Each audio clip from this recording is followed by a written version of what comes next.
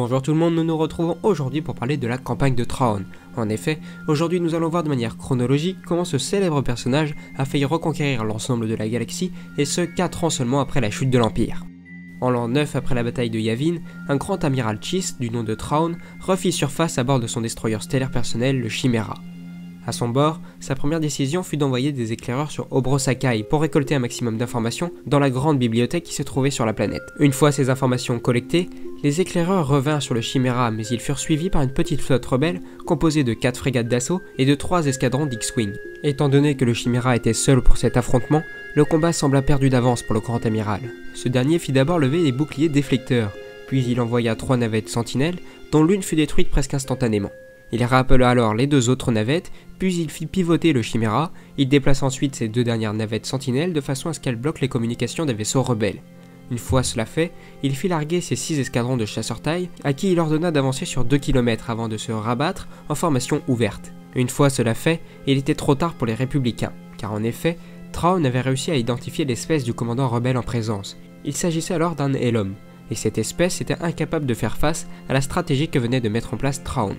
La troupe rebelle encerclée, la bataille fut donc remportée par le grand amiral. Après cette bataille, il mit le cap sur la planète Mirk pour y récupérer une espèce capable de bloquer la force, des Isalamari. Après en avoir récupéré suffisamment, notamment grâce à l'aide de Taloncard, il mit ensuite le cap sur Wayland, planète sur laquelle étaient cachés de nombreux secrets de l'empereur. Traun avait eu connaissance de ce monde grâce aux informations collectées par ses éclaireurs dans la grande bibliothèque d'Orosakai. Une fois arrivé, il tomba sur un vieux Jedi qui avait tué le gardien de l'empereur. Ce dernier tenta de tuer Traun grâce à sa foudre, mais celle-ci fut bloquée par les Isalamari du Grand Amiral. Ainsi, il put conclure un marché avec le vieux Jedi, et en échange de Luke Skywalker et des deux futurs enfants de Leia, Traun avait la pleine disposition de l'entrepôt secret de l'empereur, se trouvant sur le mont Tantis. Dans l'entrepôt, il trouva un manteau bouclier qui lui servirait à dissimuler son vaisseau amiral des radars de la Nouvelle République. Il y trouva également des cylindres de clonage Sparty, de véritables bijoux technologiques servant à cloner des êtres vivants. Par la suite, pour vérifier l'étendue des pouvoirs de Sabeoth, Tron planifia trois attaques simultanément, dont une sur la planète Bafash. Le vieux Jedi contrôla alors les esprits de toutes les forces impériales afin que l'attaque soit menée avec une précision exemplaire. Les résultats démontrèrent que les forces impériales avaient été plus performantes de 40%. Ce fut donc une victoire totale pour Traun qui en conclut que les pouvoirs de Sabeoth n'étaient donc pas à prendre à la légère. Les différentes flottes purent alors se retirer sans même détruire tous ceux qui auraient pu l'être. Peu après, Tron utilisa la même tactique en envoyant Sabeoth et des troupes s'emparer des taupes minières possédées par Lando Calrissian sur Neklon, et cette mission fut donc un succès total. Tron prit ensuite la décision d'enclencher la phase principale de son plan. Il s'attaqua alors au chantier naval principal de la Nouvelle République, sur Swissvan, dans l'espoir d'y récupérer une cinquantaine de vaisseaux pour ses clones. Malheureusement pour lui, le raid échoue lorsque Lando Calrissian réactive les taupes minières à distance, rendant alors inutilisables les vaisseaux que Tron allait dérober. Tron se replia alors tout en continuant de mener ses raids sur différents mondes comme Tanab, Sarka, Newkov et bien d'autres. Par la suite, Tron eut des vues sur une flotte disparue peu de temps avant la guerre des clones, la flotte Katana, composée de plus de 200 vaisseaux Dreadnoughts. Tron retrouva alors cette flotte peu de temps avant la Nouvelle République et réussit à s'emparer de 178 vaisseaux.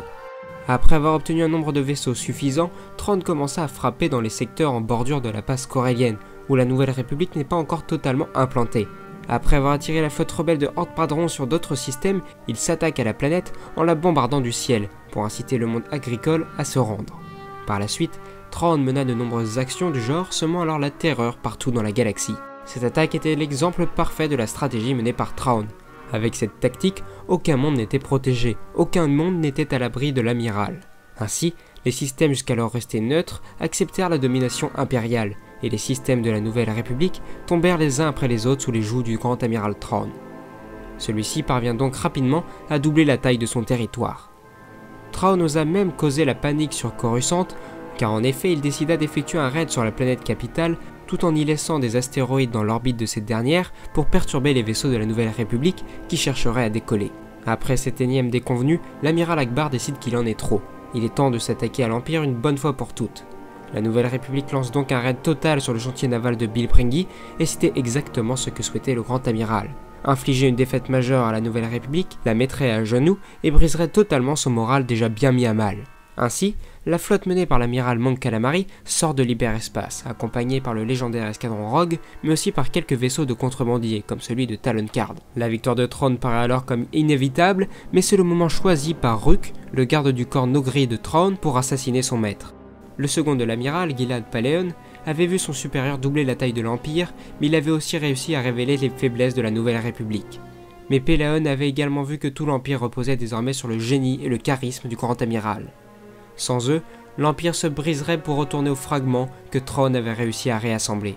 Péléon rassembla alors les forces impériales restantes et se replia vers la bordure du territoire impérial. Voilà ce qu'il en est pour la campagne de Tron, j'espère que la vidéo vous aura plu. Si vous voulez en savoir plus, je vous conseille de lire la trilogie de Timothy Zahn, La croisade noire du Fu. C'est disponible un peu partout au prix de 12,90€ et c'est vraiment très très plaisant à lire. Sur ce, pensez au pouce bleu, aux commentaires, au partage, ça fait toujours plaisir et ça aide au développement de la chaîne. Vous pouvez également me soutenir sur Tipeee si vous le désirez à la hauteur de vos moyens. Et enfin, il ne nous reste plus qu'à vous dire au revoir, salut